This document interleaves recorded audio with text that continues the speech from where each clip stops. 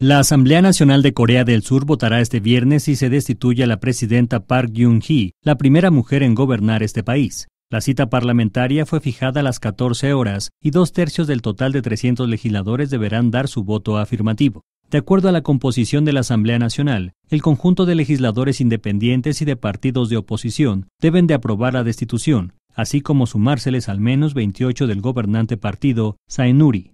La facción que dentro de ese partido ha cuestionado a la mandataria afirmó que cuenta con el apoyo de 40 legisladores de su grupo, lo que se confirmará hasta que emitan su voto, indicaron fuentes políticas consultadas por la agencia Yonhap. El proceso de destitución se basa en la acusación de que Park, de 64 años de edad, violó la Constitución y otras normas al permitir a su cercana amiga, Choi Son-sil, involucrarse en asuntos oficiales así como obtener beneficios ilegales.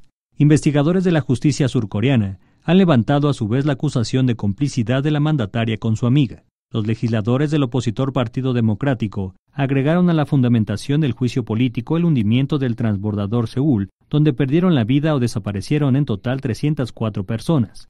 El Seúl se hundió el 16 de abril de 2014 cuando transportaba a estudiantes en un viaje de prácticas. Si se aprueba la destitución este viernes, las atribuciones de Park pasarían al primer ministro Wang Kyo-han y la mandataria seguiría siendo protegida y devengando su sueldo. El expediente pasaría a la Corte Constitucional, que revisaría la demanda de destitución en un plazo de 180 días. Si seis de los nueve miembros de la Corte Constitucional encuentran legítimo el procedimiento, Park sería destituida de manera definitiva. Perdería todos sus beneficios, incluidos los de expresidenta como pensión, seguro médico y personal de apoyo, pero no protección personal. Notimex.